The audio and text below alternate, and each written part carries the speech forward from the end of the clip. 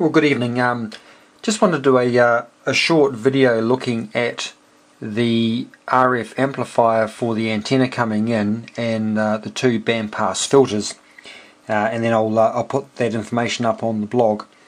So, um, very simply, just to look at what we did for the uh, the amplifier, it was a pretty straightforward one, nothing sort of um, too spectacular there. Just decided to go for a simple voltage divider bias Class A amplifier uh, based around a, uh, a 2N3904. So 3904 um, with a couple of uh, a couple of sort of rules of thumb slash sort of uh, gimmies. For example, I've just arbitrarily set the collector current to be 10 milliamps. Uh, we'll use a beta of uh, 100 and then just using or setting the emitter voltage to be a tenth of VCC. Um, so just sort of uh, some some constraints to start the design work. So looking at um, RE, our emitter resistor. Um, so again we've, we've set this to be a tenth of VCC. Um, there is going to be a small voltage drop across that decoupling uh, resistor there, 100 ohms. So at 10 milliamps we're going to have 1 volt across that. Uh, I probably wouldn't want to have too much more than that. Um, if, it was, if it was going to be a higher current amplifier, I'd probably drop that down to 10 ohms, but I'll keep that at 100 ohms for now and just um, accept there'll be a 1 volt uh, voltage drop across that. So working out then, um, this point here will effectively become my, my VCC level. So 13.8 minus 1 volt equals 12.8. So getting back to our emitter resistor, 1 tenth of 12.8 volts divided by 10 milliamps through there, assuming that our emitter current is essentially the same as our collector current. The only difference is uh, with our collector current we'll also have added to it um, the base current. Um, which comes out to be 128. So our nearest standard value we'll use will be 120 ohms. So that'll be our value for our emitter resistor. R2, this resistor here, will be the voltage at this point plus uh, 0.7 volts for that forward biased um, junction there. So again, working out the voltage um, at this point, a tenth times 12.8 plus our 0.7. Now the, the current going through here, to make this voltage divider biasing nice and stiff, we want to have at least 10 times the base current flowing through here. So in this particular resistor here, there will be 10 times flowing up. At this point, it'll be joined by the base current flowing through this um, R1. So there'll be 11 times the base current through here. So 10 times through here, 10 plus 1 equals 11 times through here.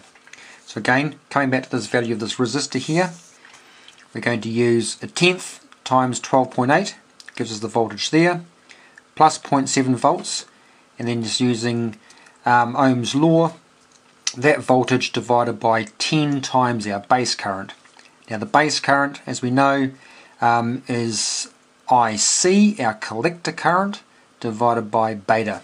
So 10 milliamps divided by 100, do the maths, comes out at 1980 ohms, so we'll use a standard value of uh, 2 k ohm.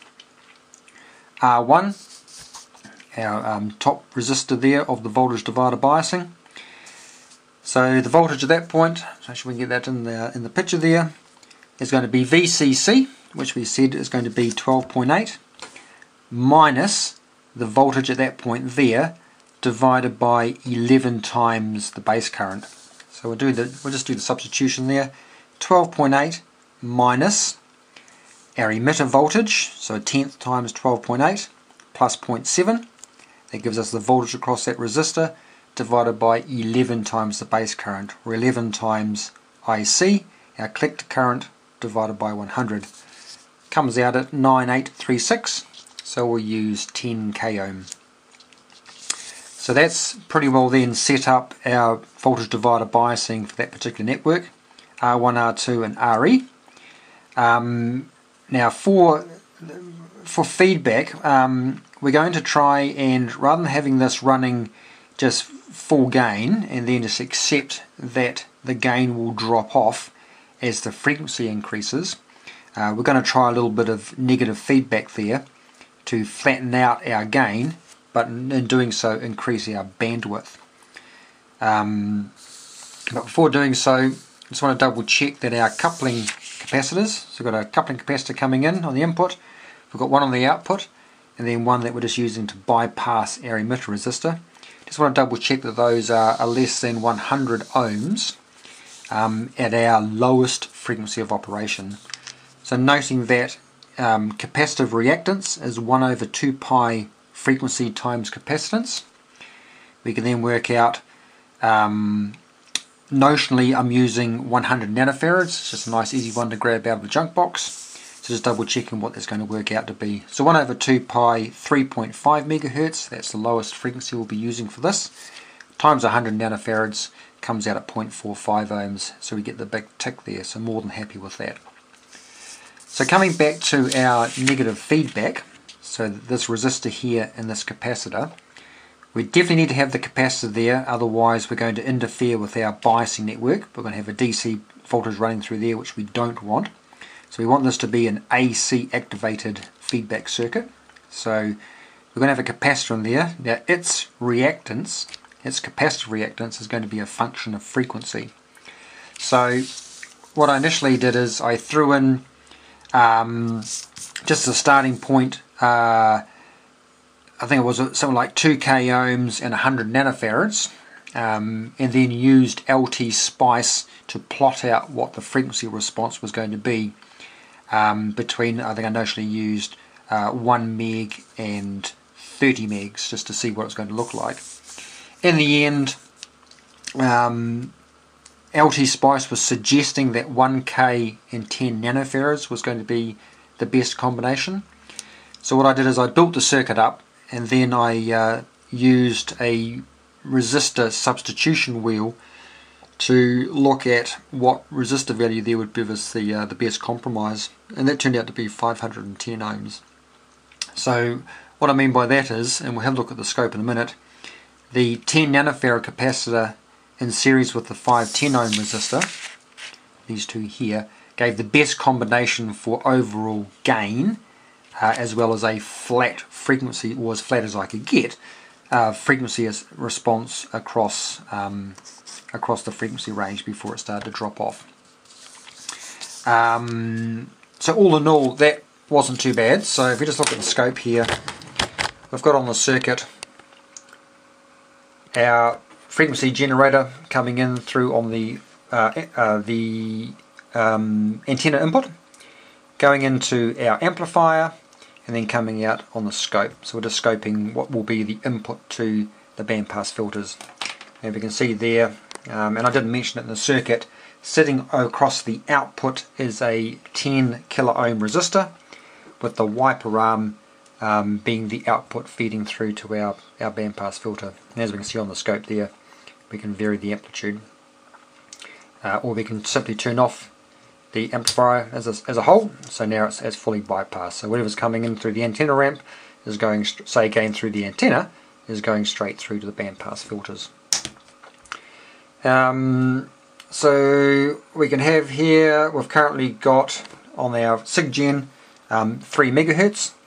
And if we can sort of see as we crank it up that the overall gain itself, so that's now 17 megs, this one's only going to go up to 20 meters. So you can see here on the on the scope that amplitude wise it's not too bad. Um, that's now 4 megs, 3 megs um, significantly better than we would have had, that's now 17 megs, 14, if we hadn't used um, that feedback network there. If we hadn't used that, then we would have um, quite a significant variation between uh, 3 megs and, and 14 megs. So anyway, that's um, it was a pretty straightforward. It didn't really go to too much more depth or in terms of the design work. Just a um, a quick and simple um, amplifier there. And what I didn't mention um, just using LT Spice, uh, the best inductor that I decided to throw into there was one microhenry. Turned out to give um, the best response there on LT Spice, and as we've seen there on the scope, um, not too bad. Not seeing any um, any problems with sort of resonant frequencies um, causing um, spurious outputs and the like. So the next thing I wanted to talk about were the two the two bandpass filters here. Uh, it's a bit of a mess at the moment. This will be tied up later on. This is just purely for experimenting. Uh, we've got a the yellow cores are the 20 meter bandpass filter, and the red cores are the 80 meter bandpass filter. So the design of those, um, like I've done many times in the past, um, used as as guidance and, and design material Appendix 2 out of the book The Solid State Design for the Radio Amateur. Um, if people can get their hands on that, I, I find that to be a, uh, a very useful um, textbook for providing, and I can't really, because of copyright, I'm not going to um, sort of go through it, but some good material there covering um, all things sort of amateur radio when it comes to amplifiers and receivers and transmitters and the like. But it's a, it's a good reference book if you can get your hands into it. So anyway, Appendix 2 talks about the design of bandpass filters and gives a couple of formulas which you can then use to derive um, this particular circuit here for a bandpass filter. So for 80 meters, um, it turns out that we need uh, 82 picofarads here and 8.2 picofarads. That's the uh, the closest standard value for that one. Uh, and 82 picofarads on the end. A couple of inductors and a couple of um, capacitors in parallel with those. So the inductors themselves turn out to be using the red core, the T68-2, uh, using 38 turns to give us 8.23 uh, microhenries. Resonating in parallel with those, we've got two capacitors, uh, and we, we need to have an overall capacitance of 133 picofarads. Now what I've done, and uh, excuse me for just sort of jumping backwards and forwards, you can see there that um, for the 80 meter one, which one we're just talking about, you can see the a fixed capacitor, and then in parallel with that is a, uh, a trim capacitor. That trim capacitor is roughly 0 to 40 picofarads, so if we were now to come back to, um, I hope that was in focus there, apology if it wasn't. So if we were to come back to here again, um, we can see that what I've elected to do to get an overall capacitance of 133 picofarads, um, I'm using uh, 120 picofarads in parallel with, like I say, that 0 to 50. I think it's subtly less than that, but it's, it's roughly that. Um, and we'll talk about trimming these in a sec, but suffice to say that's the overall circuit there for the 80 meter bandpass filter. The 20 meter bandpass filter, um, same configuration but different values. Uh, the two outer capacitors are 15 picofarads. The coupling one between the two tuned circuits is 1.5 picofarads. And our inductors are the yellow T68-6. We need 20 turns on that to give us 1.88 microhenries. And in parallel with those is a 44 picofarad capacitor. And what I've opted to do is just have a, uh, a fixed 10 picofarad capacitor in parallel with, uh, again, those two trim pots. Now, something I've mentioned before, and I want to, want to go over it again because it's, um, it's quite important, is the tuning of these. I've drawn a bit of a diagram here. Those trim pots are akin to this, this larger sort of capacitor here. They, uh, they spin around and around in circles, they just keep on going around and around and around, and they have a point where the two plates are fully meshed. In other words, you're now getting maximum capacitance, and there'll be a point where they are fully unmeshed, where you'll get the minimum capacitance, and there'll be a point on one side where you get a, um, or you'll have uh, a capacitance somewhere between maximum and minimum, going one way, and then conversely exactly the same going the other way, going from a minimum through to a maximum. So when you're peaking these two uh, tank circuits here, we want to have it that on the scope you're getting a double peak. And, and what I mean by that is, if you find yourself, and we'll come back to this, adjusting your, your trim pot and you're going like this, you're going like this, and it's getting greater and greater and greater and greater and greater, and then it's starting to drop down, getting less and less and less and less and less, coming up this other side, getting greater and greater and greater and greater, less, less, less. You've got um, too, too much capacitance. You can see here the overall capacitance is reducing at this point, and then coming down the other side. So if you find yourself you've got a single peak and it's occurring when the capacitance or the capacitor, the trim capacitor, is at the minimum capacitance, then you've got too much capacitance. So the suggestion there is would, would be to reduce one of those two fixed capacitors. Um, and I've had it certainly had it in the past where I've had to sort of fiddle around trying to find an appropriate fixed capacitor in parallel with my two trim pots because these capacitors themselves have um, a tolerance. Conversely, if you have a, a, similar situation where you've only got a single peak but it's occurring at the maximum capacitance position, so we've got a lesser capacitance, greater, greater, it's peaking, it's peaking, and then it's dropping down again.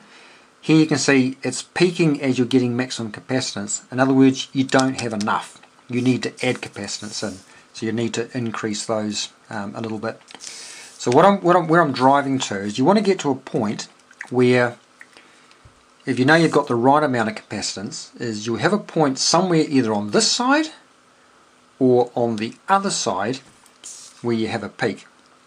So if we were to start somewhere down here, we would start to peak. Okay, it peaks and then it suddenly starts to drop down again as you go through either um, minimum capacitance or maximum. So it's dropped down a bit and then it starts to rise again, it peaks and then it starts to drop down again and around and around we go. So that's what I'm trying to indicate here. If you have this situation then you know that the peak here or the peak there, depending on which side of, I don't, I don't want to call it zero, but which side you're on, you've got maximum gain. You've got maximum, uh, you've, you've, you've got that resonating as, as well as you can get it. So that's something to look out for. You've got a single peak, either at max or minimum capacitance, you need to go and adjust these two capacitors here.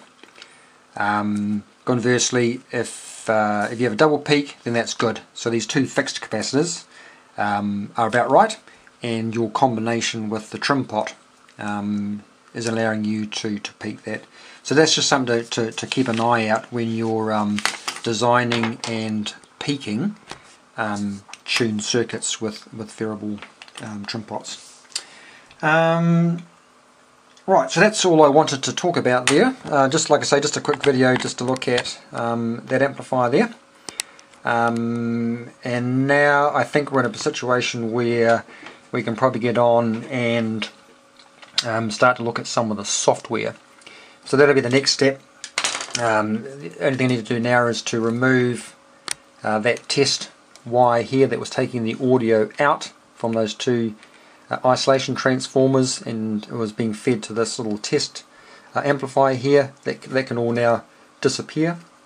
Um, we'll probably keep that amplifier there for now um, just in case we need to increase or to amplify um, the output of our Teensy over here. So that's the next step. We'll, uh, like I say, disconnect that black wire. We'll now take that audio through to the input on the um, audio shield or um, panel, I think it's called, for the, the Teensy.